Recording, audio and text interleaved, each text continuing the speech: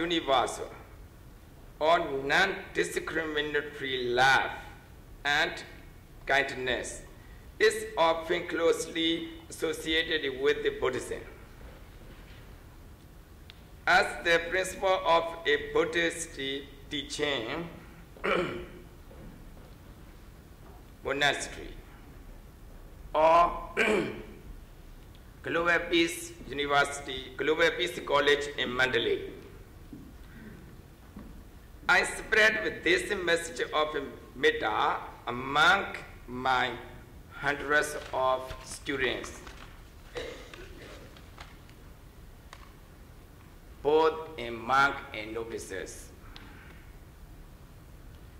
I work with other spiritual leaders from Christianity, Muslim, and Hindu communities to promote inter-communal peace. To my deepest dismay, I'm, I'm learning that when the conflict between Buddhist and Muslim in my country tend to embrace extremism, hatred, and racial prejudice, we stop being the conflict between of, between um, Buddhist and Muslim. How can people who call ourselves Buddhist, Buddhist be so incredibly discriminatory, express violence, views, and other hateful words towards others who do not subscribe to our Buddhist view. In my view, as a Dhamma lecturer or teacher, there cannot be in my Buddhist country there cannot be my Buddhist race. For Buddhism treats self as mere illusion, not a tangible and tasting reality. How can such a religion be used to justify hate speech and deeds of hatred towards other communities of faith? I'm incredibly sorry the atrocities have been committed in Myanmar in the name of Buddhism. As a son of the Lord Buddha, I pledge to do everything in my capacity as a spiritual leader to promote peace and harmony among all sincere beings, especially those who are in conflict state in Rakhine state. I know that two of my fellow Buddhist monks here with me today join me in offering our heartfelt pledge to con continuously to promote peace life, and tranquility. I invite you all help in our committed community May you all be free of nationalistic extremism. May you be peaceful in mind and body. Thank you.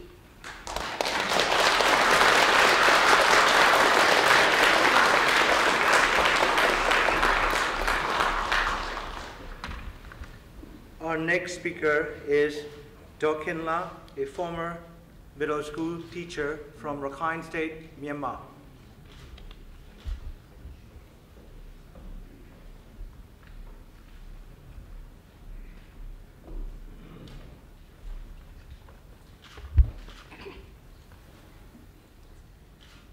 Ladies and gentlemen, reverends, Seattle, and distinguished guests, Thank you very much for giving me an opportunity to make an urgent appeal on behalf of fellow Rohingya people back home in Burma and diaspora. I am Daw Khin Hla, a Rohingya woman born in Arakan state of Burma in 1953. Until I left Burma, I worked as a government middle school teacher. I was born in native of Arakan. Just like my ancestor who lived from cradle to grave, has the indigenous people of our land. Now, sandwiched between present-day Burma and present-day Bangladesh. Today, I would like to appeal to you to help restore our nationality, full citizenship, and basic rights in the country of our forefathers and mothers. First, how were we in the past? How are we today? And how did we get here as people with district identity who are being punished if we, we say we are Rohingya? Do people not have the right to identify as so and so ethnic community? Following our country's independence from Britain 1948, we the Rohingya did not need to apply for citizenship. We, we were considered officially as a full citizens of the newly independent Burma. We were officially recognized as a distinct ethnic group living along across the nation, national borders and indigenous to own our, our own ancestral land. Just like any other indigenous ethnic groups you find along Burma along and porous borders with India, China, Thailand, and Laos.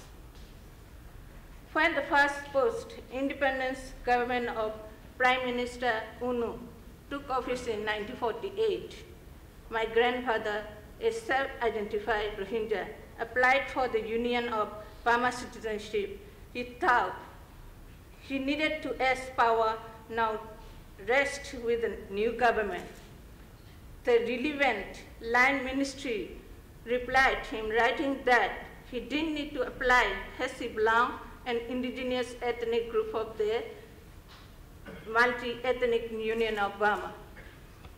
In the early 1950s, when the Burmese government introduced national registration card, Rohingyas were issued this legal identification cards, nations of the country.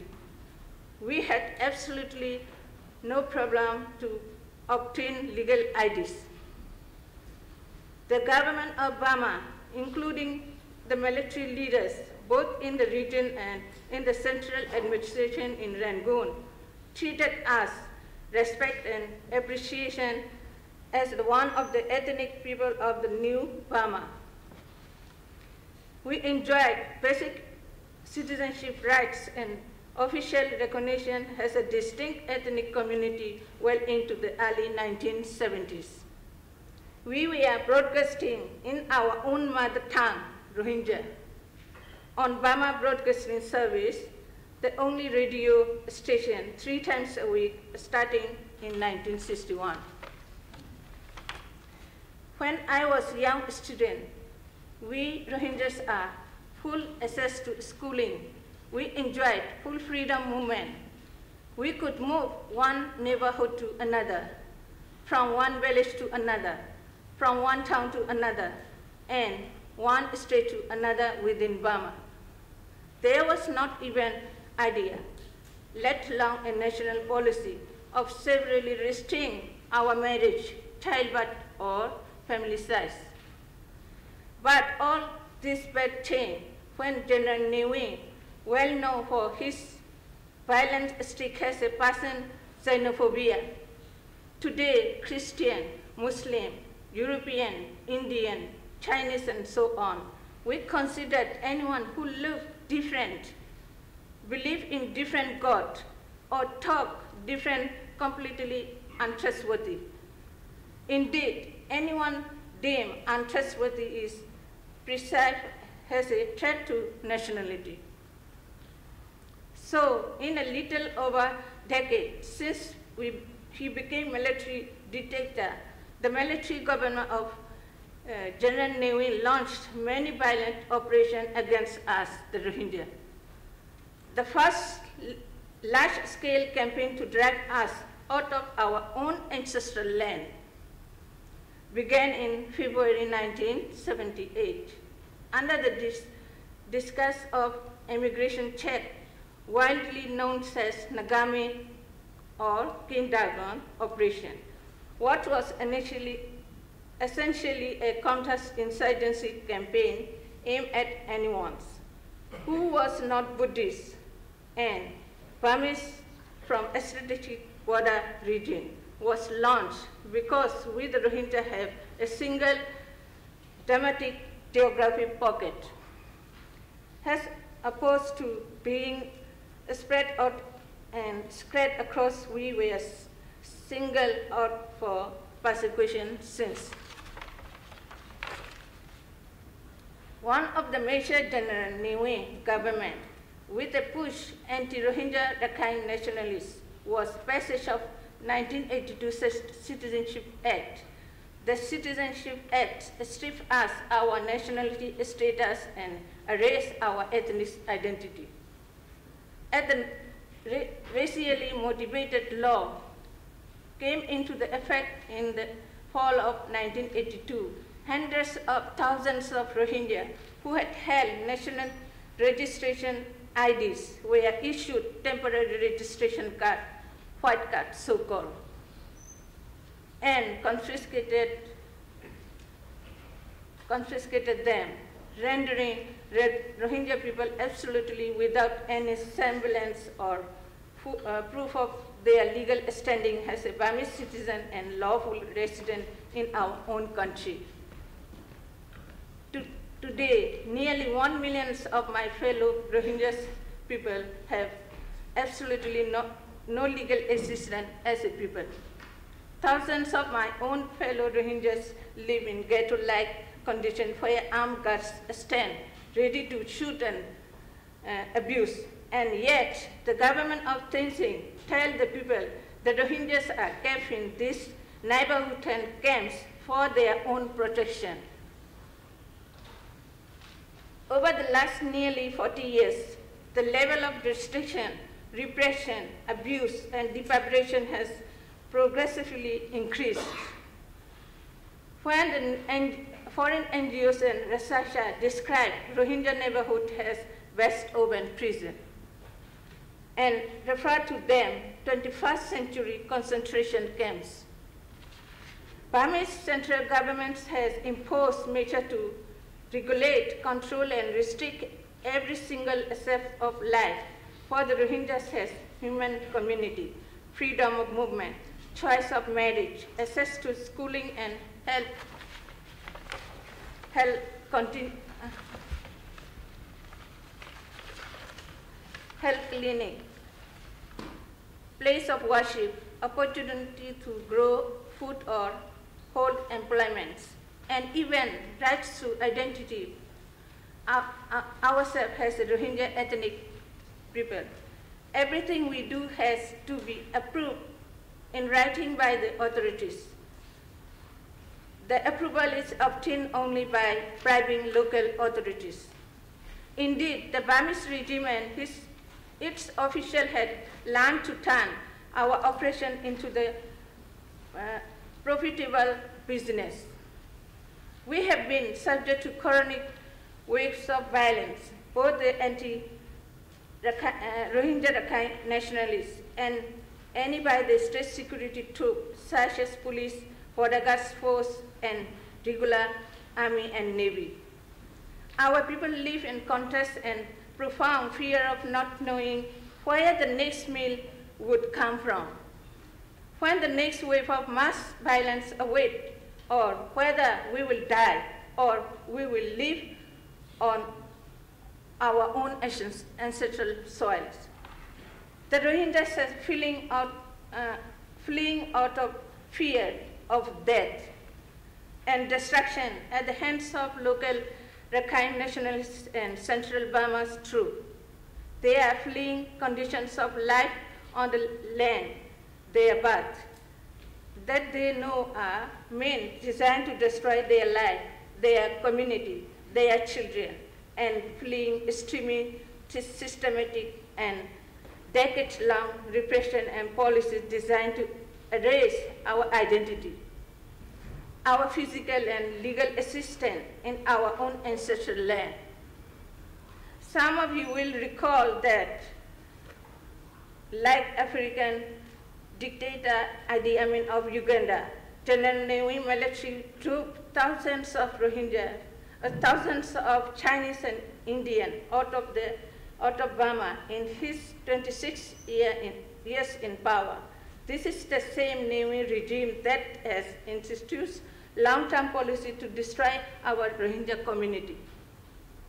On our own ancestral land, the present government of ex-General is simply continuing the Burmese military policy of Rohingya, Rohingya destruction. In fact, President Thein Sein and his government deny persistently that we Rohingyas are part of Burma. In the face of irrefutable and official evidence of our ethnic identity. He reportedly and officially proposed to the UN to expel, resettle more than one million of our Rohingya people in three countries, or build UN finds apartheid in our own land. I was very much saddened to hear that. This ex-General Thein Sein was nominated and even shortlisted for the Nobel Peace Prize in 2013. I thank the Norwegian Nobel Committee for wisely choosing not to confer him the supreme honor and recognition which definitely don't and doesn't deserve. In the last three years, UN and estimate, UN has estimated that 100, uh, 150,000 Rohingyas, including mothers in newborn babies, have fled country under the President Thein Sein's watch. Since 1978, Burmese military government have terrorized our community so much so that today almost half of the total populations of Rohingya had been forced to settle across the world, including here, Norway. No one wants to leave home, especially the home and the land where they, uh, they were both. But when the Rohingyas do taking their infants and elderly relatives, they are fleeing for their lives. On behalf of my fellow Rohingyas, we standing in dangerous high seas with no food and water, dying slowing in vast ghettos with no adequate water, food, or medicine. I appeal to you today to stand with us in our darkest hours of need. No, Norway is con considered around the world a special country, small and influential promoter of peace and reconciliation around the world. I would like to direct my appeal to the Norwegian people and the, go the government that has you engaged with my country of birth dip diplomatically, commercially, and politically. Please put the suffering of our people on your policy priorities. I know that Norway considered Myanmar Obama one of the focus countries important to Norway, and Norway is involved in supporting peace process in Burma. I appeal to the Norwegian public and le leaders that we too deserve a life in peace, a life where we are allowed to call ourselves by the name we choose, a life where our newborn are not denied nutrition or legality. Lastly, I appeal to the world, fellow Rohingyas, to lend us a hand of compassion so that our people no longer suffer cradle to grave. I thank you from the bottom of my heart. May God bless you all.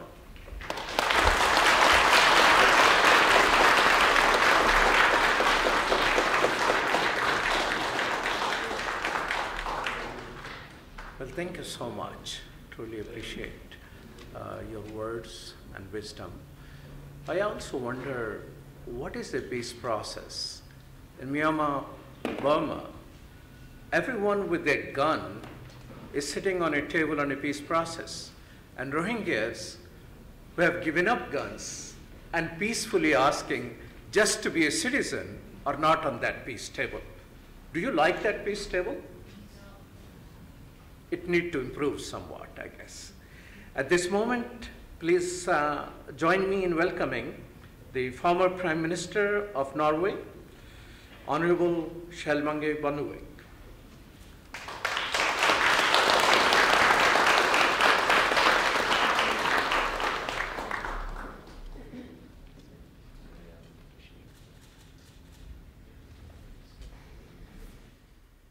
Dear human rights advocates, ladies and gentlemen. For decades, the Muslim Rohingya population in Myanmar and Bangladesh have been victims of severe repression. There is no doubt that the government in Myanmar is failing to protect the Muslim minority living in Rakhine State and elsewhere. Only this year, 25,000 have fled the country, many by boat, often on an extremely dangerous voyage, which we see the results of today. Another 140,000 are living in severe and dire conditions in internal refugee camps. It is really timely to increase the focus on this tragic situation and to strengthen our efforts to help and to solve the problems. The dates for this conference were fixed before the last said development. But the current situation makes this conference even more relevant. What we have witnessed is in the Mediterranean Sea and still do here in Europe is remarkably similar to what is happening in Southeast Asia right now. But I would also like to add an important difference. The, the, refugees from Africa are fleeing to Europe, hoping for a better future, and nothing wrong with that, of course. But the Rohingyas are fleeing from Myanmar, running away from a living nightmare that has lasted since the state citizenship law of 1982 that practically made the minority a stateless group of people. The last week's exposure of the mass exodus of Rohingya boat refugees from Rakhine the Southeast Asian countries' refusal to help for a long time. And mass graves in southern Thailand with Rohingya trafficking victims have highlighted yet another time the desperate situation of this stateless Muslim minority group in Myanmar. Unfortunately, the situation has not improved